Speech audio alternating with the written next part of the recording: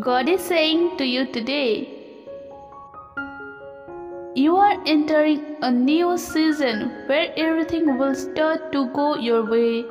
It's time. You had enough lessons. You did the work. You overcome so much. You believed even when it was hard to. Never gave up. You pushed through it all.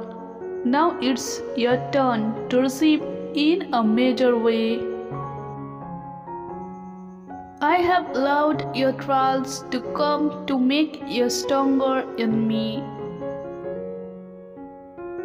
What the devil meant for evil, I meant for good. Through it all, you are still here. And I am about to blow your mind with blessings, good health, peace, love, and favor. They said you would not make it. They said you don't deserve it. They tried to stop you from receiving my best. My child, know that promotions and blessings come from me. What I promised you, no one can take, block, and destroy. Stay in faith. I am about to overwhelm you with blessings.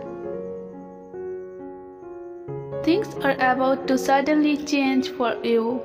Great things are coming from you. So many blessings are headed your way.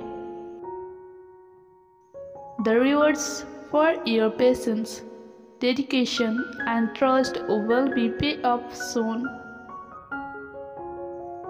Type Amen if you believe in God. Please like, share, and subscribe for daily God message.